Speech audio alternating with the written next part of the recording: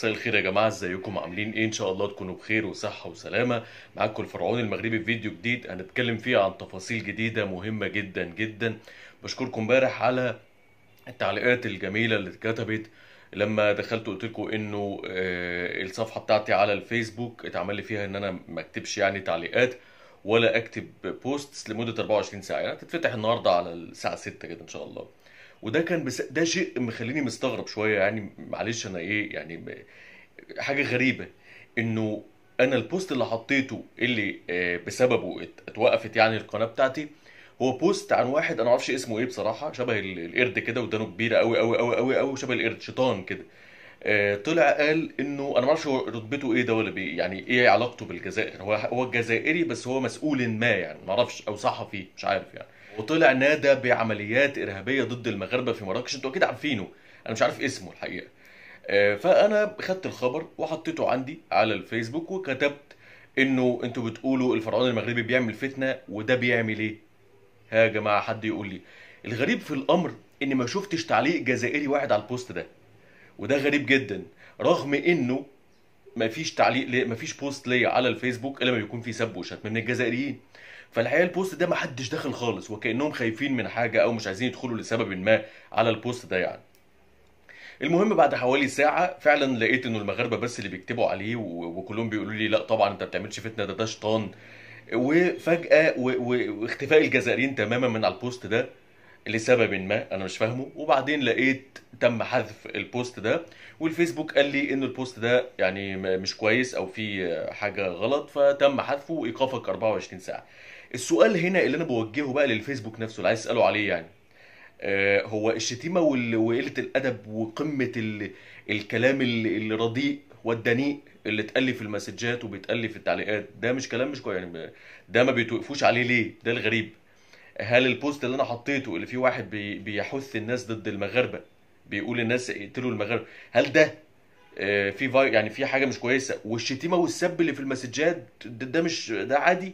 ده أنتوا لو تشوفوا المسجات اللي في ال... يعني يعني يتسجنوا فيها مش بس يتوقف في الفيسبوك بتاعهم. فده أنا استغربته جدا يعني. قعدت أسأل نفسي هو إيه ده؟ شيء غريب جدا. فالحقيقة في كده علامتين استفهام يا ريت تجاوبوني عليهم لو أنتوا عندكم معلومة.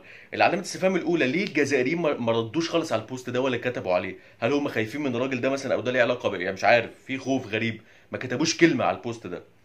آه، الحاجة التانية إنه الفيسبوك غريب جدا إنه هل ده فيه قلة أدب؟ والشتيمة وقلة الأدب اللي بتتقال لنا في المسجات وفي التعليقات؟ ده مش شتيمة تاني حاجة يا ريت لو في حد يعرف طريقة لإن أنا أخلي الصفحة بتاعتي على الفيسبوك محدش يشوفها من الجزائر يعني أعمل بان للجزائر ما يشوفوهاش. يا ريت والله يكون أريح لي. يعني. المهم نقول الخبر الأولاني اللي معانا سيارات الشرطة اليونانية الجديدة يا جماعة صناعة مغربية. تطور مغربي كبير جدا وحاجة مشرفة الحقيقة إنه آه، المغرب دلوقتي خلاص قام بتصنيع سيارات آه، الشرطة اليونانية وهي بتمشي بالطاقة الكهربائية وتابعة لشركة سيتروان. والشرطة اليونانية خلاص بقت سياراتها الجديدة صناعة مغربية 100% كمان وزير الصناعة والتجارة المغربي أعلن إنه في خلال سنتين المغرب هيصنع الطائرات 100% يعني الطيارة تتصنع 100% جوه المملكة المغربية الشريفة. دلوقتي المغرب بيصنع 40% من الطيارة. إن شاء الله في حلول في خلال سنتين هيتم تصنيع 100% يعني الطيارات هتصنع بالكامل في المغرب.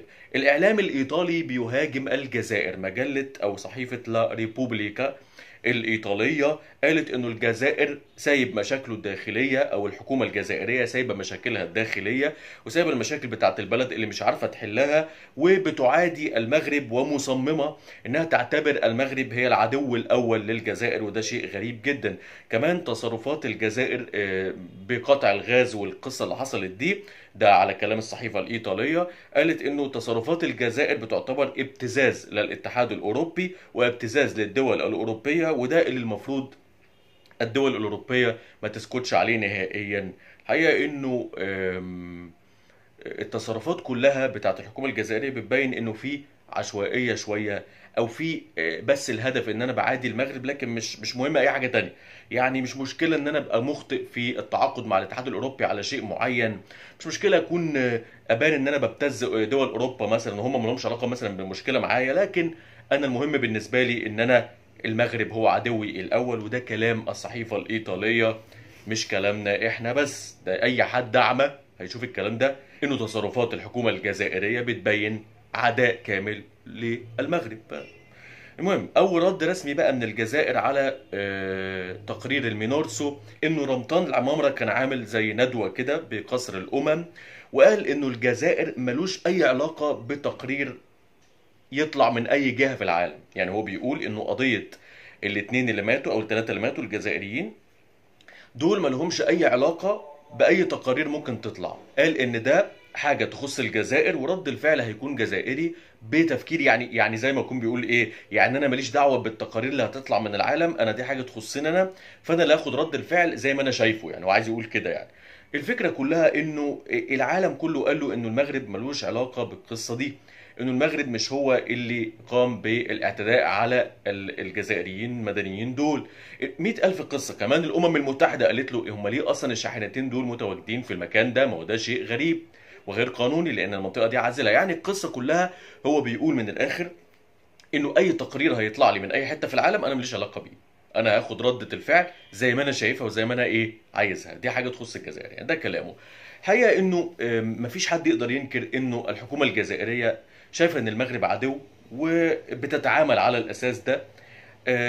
بعض الناس اللي بتدخل تقول في التعليقات مثلا انه الشعوب ملهاش علاقة آه طبعا الشعوب ملهاش علاقة بس لما يكون ال- الطرف ده من الشعب طالع بيقول آه صراحة يعني إحنا شايفين إنه ده غلط أو بلاش لو أنت ممكن تكون عندك مثلا في قمع فأنت خايف تقول ده. طيب على الأقل ما تشتمش ما تعاديش. لكن أنت بتشتم وبتعادي.